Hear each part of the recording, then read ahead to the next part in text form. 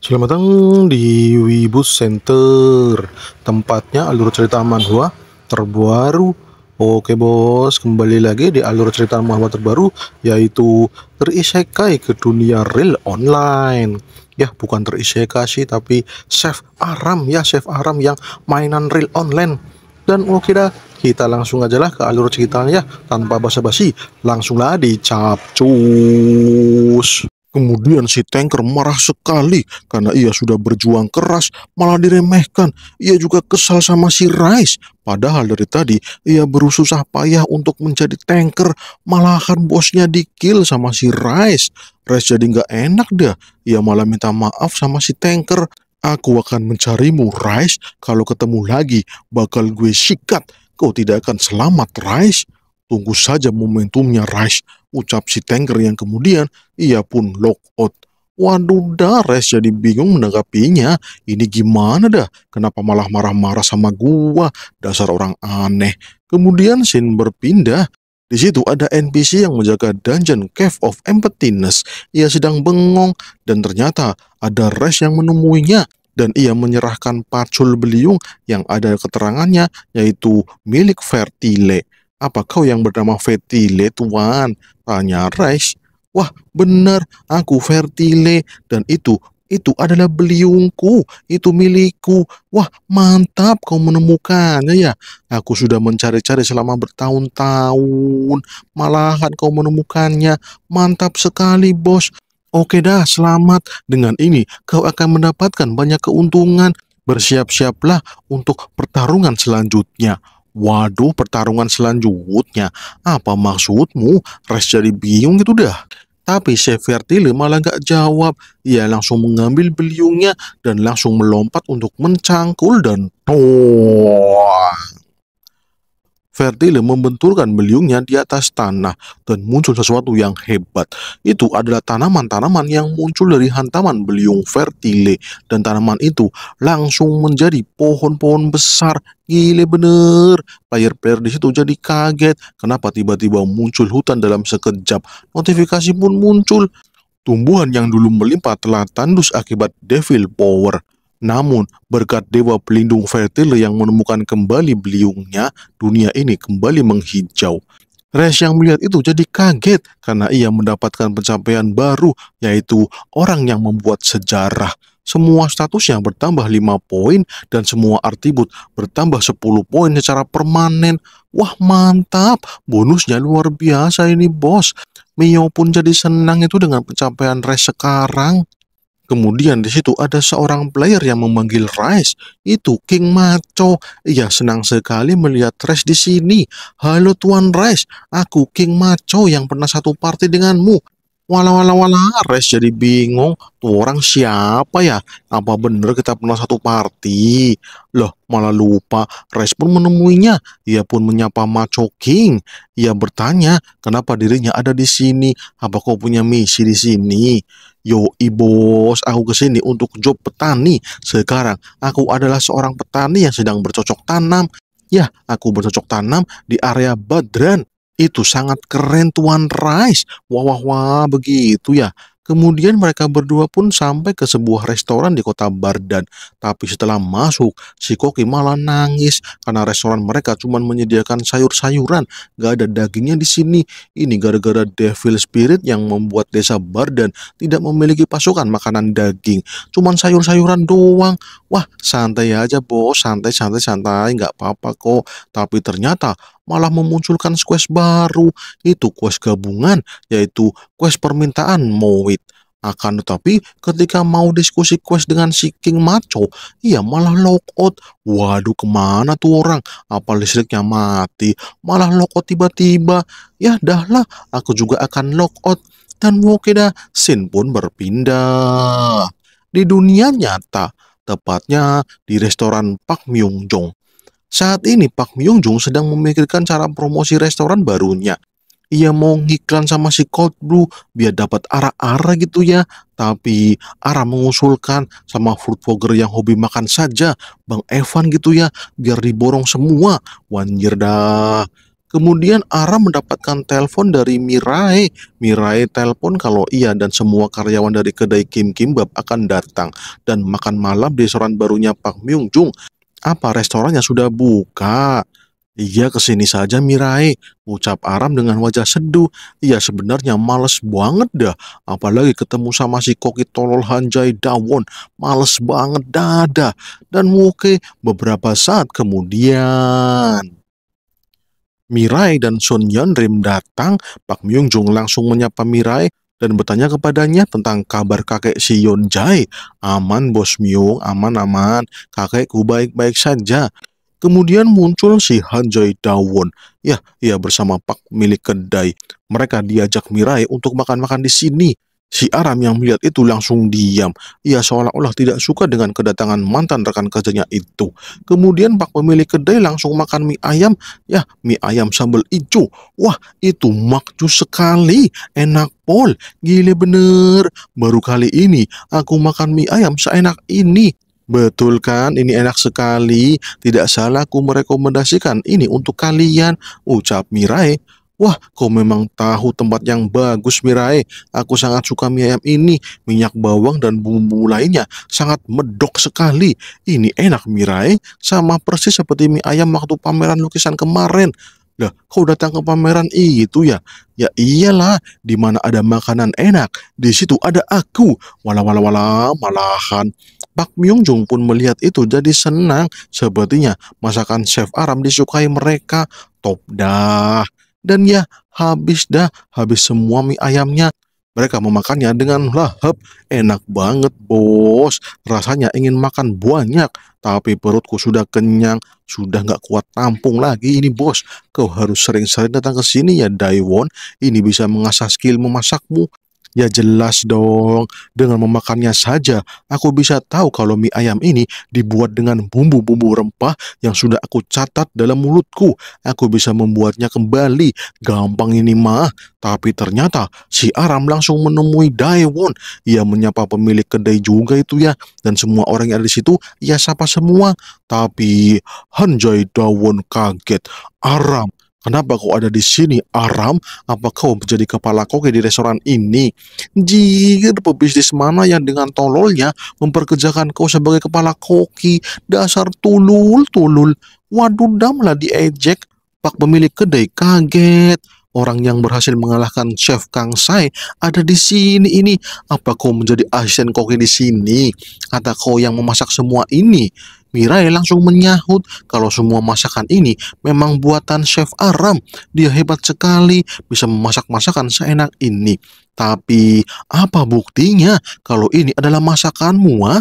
Kau itu cuma asisten koki yang kabur. Seenaknya saja menyebutmu sebagai kepala koki restoran ini. Gili apa pemilik restoran ini? Sungguh orang bodoh tuh orang. Lah, Aram jadi bingung. Nih orang mulutnya nggak ada rem ya. Nah itu kan masakan buatanku. Kau malah menghabiskannya itu. Sebenarnya kau itu ngomong apa sih cuk cuk? Walah begitu ya. Pantas saja aku merasa masakan ini bau bangke. Aku menghabiskannya karena ini rasanya unik sekali. Rasa micin yang dicampur dengan comberan kaligot. Apa kau serius mengatakannya? Aram jadi kesal mendengar itu semua. Ya iyalah pantas saja restoran ini sepi banget. Yang masak koki tolol kayak ente. Ampun dah, bisa bangkrut ini mah restorannya. Masakannya micin doang kayak gini bisa dijual. Seriusan ente mah. Bisa-bisa orang yang makan di sini langsung kena stroke gara-gara kebanyakan micin. Waduh waduh, wala wala. Dasar tulul, tulul. Ampun dah kayak gini disebut chef. Dasar malahan tolol. Mendengar itu Mirai marah.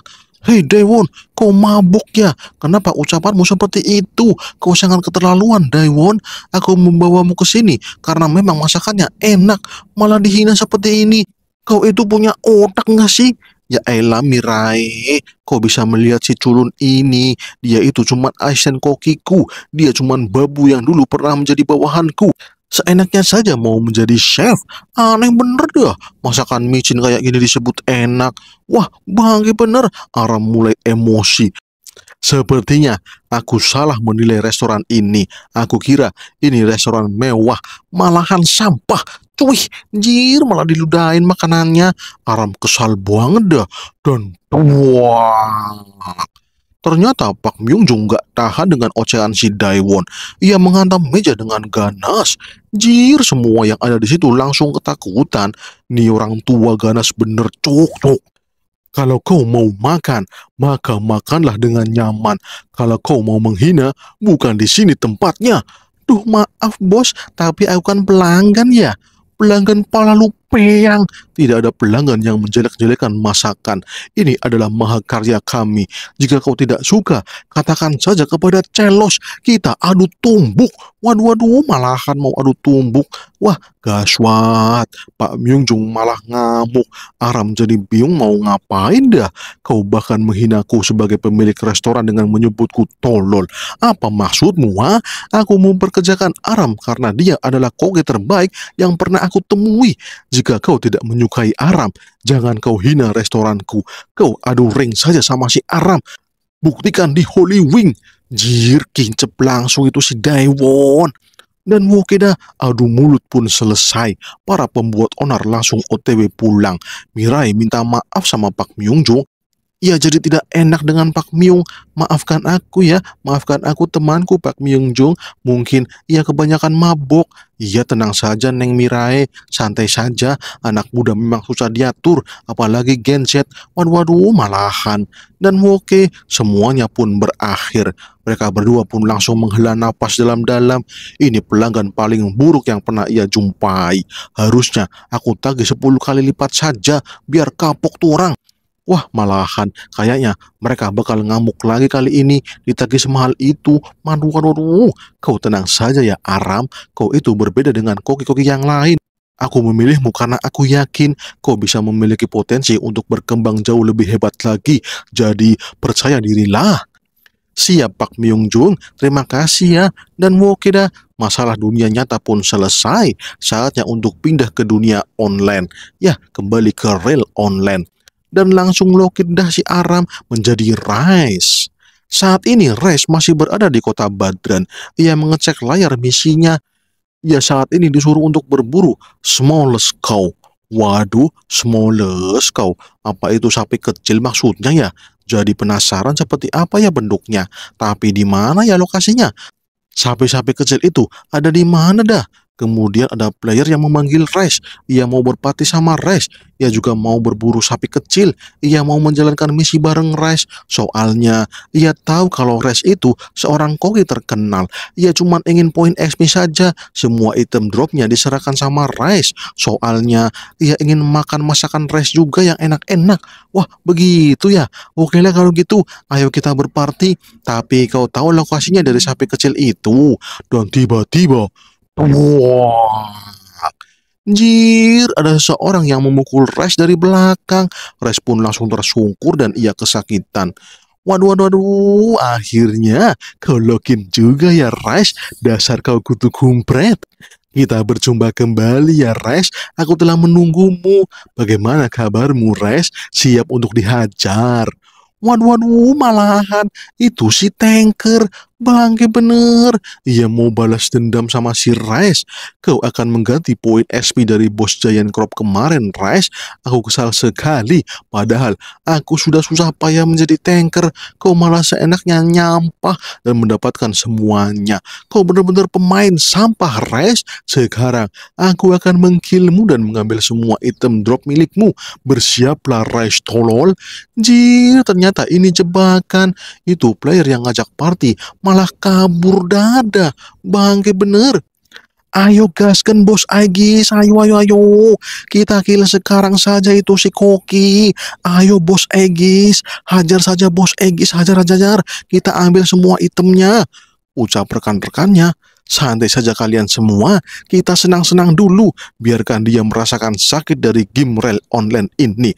Jangan sia-siakan momentum langka ini, dasar gudal kutu kumpret. Aku akan menghajar kalian semua. Wah, wah, wah, sudah mau KO, masih bisa gaya-gayaan.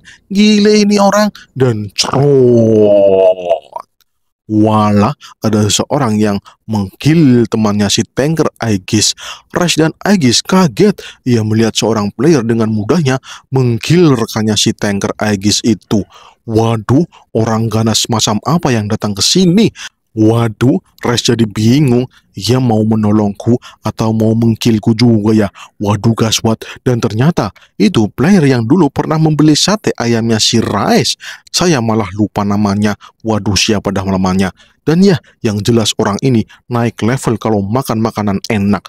Wah, wah, wah, ternyata ia mau menolong Rais. Soalnya ia mau makan makanan yang enak-enak.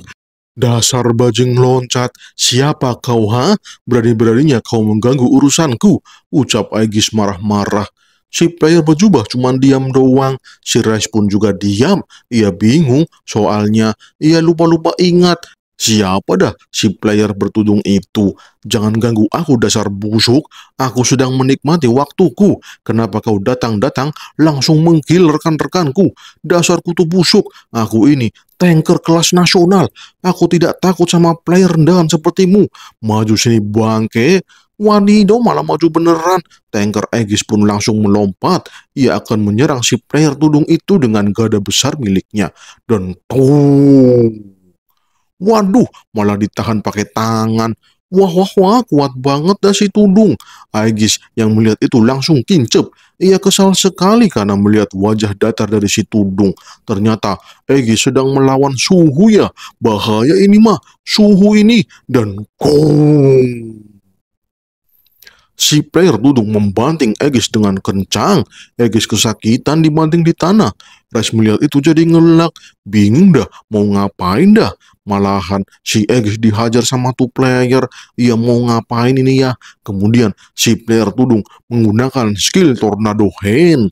Jir, tangannya diselimuti angin tornado. Aegis yang melihat itu langsung minta ampun. Ia memohon untuk tidak diserang. Tolong hentikan, tolong jangan kill aku. Dan cerot.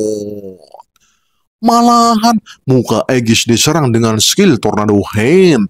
Wah, serangannya dahsyat bener bos. Aegis pun muntah ber dan mau dadah si Aegis Cih, lemah amat. Sok-sokan nyerang orang lain. Dirinya sendiri diserang malah kau langsung. Dasar lemah kau. Hei kau Res, kau si chef yang terkenal itu kan? Iya betul aku Res. Wah baguslah, tolong selamatkan aku. Aku mau minta tolong kepadamu. Waduh, perasaan di sini si Res yang ditolong ya. Malah orang ini mau minta tolong. Waduh, waduh, malahan apa maksudnya dah? Res yang melihat itu jadi bingung. Dari tadi bingung mulu si Res. Wah, gaswat dah katanya otaknya sudah sengkle. Lah iyalah, orang gak ngapa-ngapain cuma nonton doang. Jadinya bingung dah si Res. Tapi tiba-tiba si player mengeluarkan daging small cow. Itu daging dari monster yang dijadikan quest. Wah, beneran nih. Apakah ini beneran daging small cow? Lah, malahan kenapa kau mengeluarkan daging di hadapanku? Ini daging yang aku buru tadi. Tadi kan aku sudah ngomong ya, kalau aku mau minta tolong, tolonglah masak daging ini. Aku membutuhkan makanan enak darimu. Jadi, tolong masaklah. Wah, begitu ya. Res jadi mudeng dan oke okay, dimasak dulu. Res pun memasaknya menjadi semur rendang sapi kecil. Dan udah jadi nih bos, menggiurkan nih bos. Silahkan dimakan, masaknya lumayan gampang sih. Jadi silahkan dinikmati. Wah, melihat rendang sapi kecil, si player malah bingung. Ini yang ia cari dari kemarin.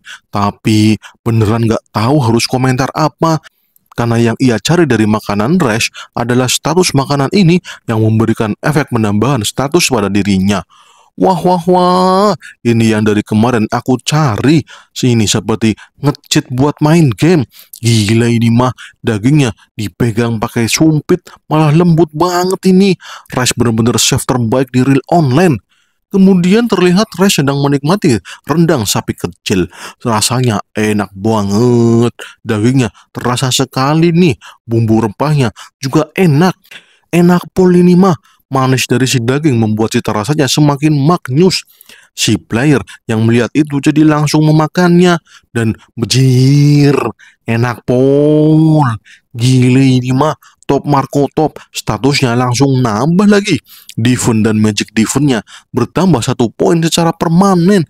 Wah, wah, wah, mantap nih bos. Dan akhirnya habis semua rendangnya sudah habis. Masuk daun kedua, ternyata Res sedang menyiapkan sup small cow dan tentunya sup langsung dijadikan campuran bumbu nasi goreng dan jadilah nasi goreng small cow. Jangan lupa tambahin telur ceplok dari ayam tanduk biar makin top. Dan oke dah, langsung dilahap. Mereka berdua melahap nasi goreng dengan penuh kenikmatan. Ya, beneran nikmat nih bos. Soalnya perpaduan antara bumbu nasi goreng, daun bawang, dan juga kaldu dari sup daging small cow. Itu semua perpaduan yang maknyus nih bos. Gile bener. Sampai-sampai si player tudung terkena genjutsu oleh nasi goreng rice. Dan pada akhirnya kenyang bro. Si player tudung itu benar-benar berterima kasih ya karena telah kenyang. Skill absorption miliknya juga terisi penuh semuanya berkat masakan dari Rice. Walah, skill absorption. Skill apaan tuh? Rice baru mendengar skill seperti itu. Dan kenapa dikasih makan malah terisi penuh? Apa maksudnya dah? Tapi gak dijawab sama si player, ia malah memberikan res hadiah, yaitu buah spirit. Buah berisi jiwa pertemanan seseorang. Jadi dimakan saja ya. Kalau kau memakannya, itu akan menambahkan friendship pada status pemakan. Ini buat ente aja ya bos rice, aku tidak bisa memakannya karena ini tidak bisa dimasak. Jadinya aku memberikannya kepadamu, tolong terimalah rice. Oke siap, terima kasih bos. Salam kenal ya, namaku Epicure. Aku memiliki job sebagai pencicip makanan. Lain kali, aku akan membawakanmu bahan-bahan lainnya supaya kau bisa memasak lagi untukku. Wah siap dah, namaku Rice ya, seorang chef. Salam kenal Epicure.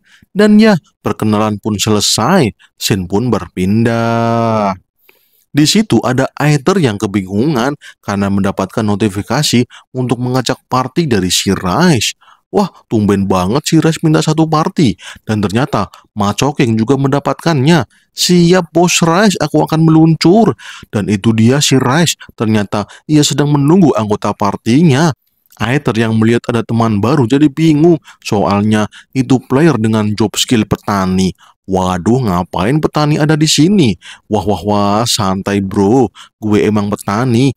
Tapi skill gue overpower bro. Wah, begitu ya. Mantap dah. Kemudian muncullah quest yang diminta sama si Rice. Itu quest menyuruh party Rice untuk mencari kayu, membangun rumah dengan kayu itu, dan juga membangun pertahanan lanjutan untuk belahan pertanian. Wah, serta tangkap 50 hewan ternak. Dan itu semua quest dari Kopit, dari warteg desa Bardan. Ia nangis-nangis ya minta quest itu diselesaikan. Waduh-waduh, itu si Koki malah akan minta di quest. Oke lah, Macho King sudah bersiap dengan quest ini dan saatnya untuk beraksi. Oke siap dah Macho King, tapi aku siap-siap dulu ya. Sebagai rekan party, kita harus tahu kebutuhan masing-masing kita selesaikan satu persatu ya questnya. Soalnya permintaannya kan banyak ya. Biar bisa selesai satu persatu, kita bagi-bagi aja tugasnya. Tapi Aether bertanya, apa ngerjain questnya bareng-bareng atau nggak perlu bareng? Yang penting questnya dijalankan saja gitu. Ya jelas lah bareng-bareng bos. Gue ini macho king gue tidak akan meninggalkan bos Rai sendirian. Aku akan menemaninya sampai quest ini selesai. Waduh waduh malahan. Dan oke lah dimulailah menjalankan questnya. Macho king saat ini sedang berusaha untuk menebang pohon ia menatap pohon besar dengan tatapan optimis, sedangkan Aether sedang mengecek mengenai peralatan tukang-tukangnya. Ia mau membuat pagar keliling untuk membangun peternakan desa Bardan, sedangkan si Resh, ia sedang menghadapi para small cow.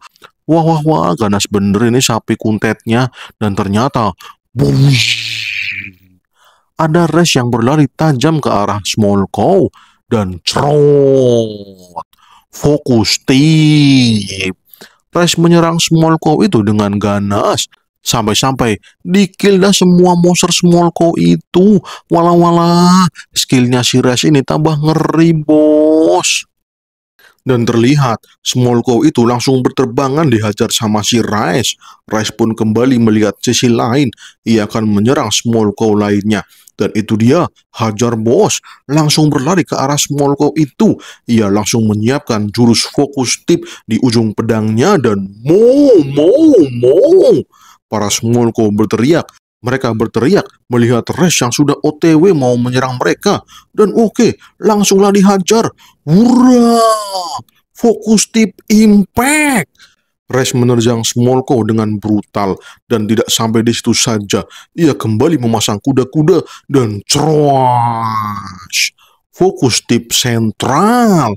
Bush. Semua Smolko berterbangan dihajar sama Rice. Rice langsung mendapatkan achievement sang pembantai. Wah, ternyata Rice mendapatkan titel baru, yaitu Sang Pembantai. Soalnya, ia telah mengkill seribu monster. Dan Rice mendapatkan skill serangan baru, yaitu Focus Slash. Wah, wah, wah, mantap dah dapat skill baru. Setelah membantai sapi-sapi itu, Res malah melihat domba. Ya, domba sedang berjalan dengan santainya. Walah, tuh monster santai banget dah. Tapi sepertinya itu bukan monster. Ada keterangan kalau hewan itu adalah hewan ternak yang hilang. Oh, kalau begitu tangkap saja. Langsunglah ditangkap biar nggak kabur jauh-jauh. Oke, respon langsung melompat dan menangkap si domba. Akan tetapi, lah malah hilang. Waduh, waduh, ini seperti hologram domba ya. Kenapa malah nggak bisa ya? Nggak bisa ditangkap. Dan ternyata Resh kaget, ia melihat sesuatu yang lebih mencengangkan. Ya, jumlah dombanya banyak banget. Gile, kenapa dombanya banyak banget? Dan semuanya statusnya adalah hewan ternak yang hilang. Wah, ada ayam juga, ada babi lagi. Wah, kenapa ada banyak hewan ternak yang hilang? Harus diapain nih dah? Dipegang nggak bisa lagi. Otomatis diserang juga nggak mempan. Respon mengaktifkan Eye of Weakness. Ia ingin tahu tentang hewan ternak ini ya. Dan ternyata muncul notifikasi kalau hewan ternak ini pada kelaparan. Mereka akan dengan senang hati mengikuti siapa pun yang memberi mereka makan. Oh begitu ya. Respon langsung membuka inventorinya, ia mencari sesuatu di situ. Dan ini dia ketemu, ini adalah sayur arugula. Sayur ini sangat enak karena ada manis-manisnya gitu ya, kayak le mineral. Apalagi kalau dimasak dengan berbagai bumbu rempah, sayuran ini bakal maknyus. Oke lah, langsung dimasak.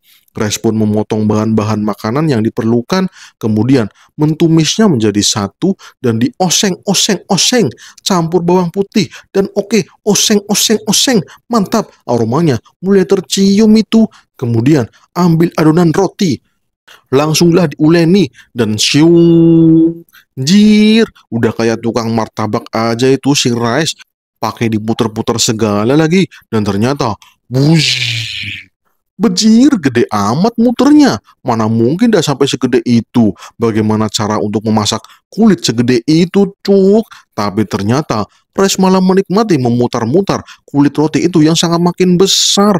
Bahkan para hewan ternak jadi melihat pertunjukan itu seolah-olah mereka takjub dengan itu. Wah wah wah malahan. Dan wuih, dilempar adonan rotinya dilempar semua sama Rice yang kemudian Rice langsung mengeluarkan skill Magic Fireball dan buih. Langsung membakar roti adonan itu. Wah, mantap. Dipanggang langsung saat diputar-putar ke atas. Dan langsunglah dikasih topping yang kemudian jeng sudah jadi nih bos pizza zumbo dengan argula spicy mantap dah bos emang cuman bobon doang yang bisa masak-masak besar dan ya Para hewan ternak pun mendekati pizza itu, mereka pun langsung memandangi pizza itu, dan ngiler kayaknya mereka semua itu. Dan ya, semua sudah selesai. Res pun mempersilahkan semua hewan ternak itu untuk memakan semua pizza yang telah disiapkan. Oke lah gaskan, Sen pun berpindah. Masih di dunia real online. Di situ ada penjaga kota Bardan yang sedang molor. Duh, malah molor sambil berdiri lagi molornya. Terus teman penjaga itu melihat sesuatu dari arah ladang. Wah, apaan itu? Apa kau melihat ada yang aneh di depanmu itu? Apa maksudmu? Itu, itu, itu. Ada asap kebul-kebul. Itu menuju kemari. Waduh, apaan itu dah? Kenapa ada malah angin debu yang mengarah ke sini? Apa itu badai pasir? Wah, kayaknya bukan deh. Eh, ternyata itu si Rice. Ia sedang lari, sepertinya ia dikejar sesuatu. Malahan ia lari ketakutan. Wah, wah, wah. Waduh, waduh. Ternyata ia sedang lari sama hewan ternak yang hilang. Wadidaw, ada apa sebenarnya ini dah? Waduh, waduh. Kenapa Res larinya kencang banget? Dan ternyata Res dan para hewan ternak yang lainnya dikejar-kejar itu. Dikejar-kejar Papa Bison. Wadidaw. Ada Papa Bison. Monster apa anda tuh? Ternyata itu monster mini boss di area Bardan. Dua penjaga itu panik soalnya mereka bakal diseruduk Papa Bison. Waduh, waduh, malahan Res malah berlari ke arah gerbang. Walah, Res, cepat lari ke samping. Jangan lari ke sini. Akan kami bantu untuk kabur. Wadah, nggak ada waktu, cuk. Tolong cepat tangkap hewan-hewan ternak ini. Lah, gaswat. Penjaga itu malah panik sendiri dah. Ini harus gimana? Bahaya ini, bos. Dan ternyata... Aether dan Macho King langsung melompat dan menghajar Papa Bison. Wah mantap, mereka berdua membantu Rice. Pak penjaga jadi melongo melihat kedua player itu. Mereka menghajar Papa Bison dengan kekuatan penuh. Tapi sayangnya bersambung. Jadi malah bersambung.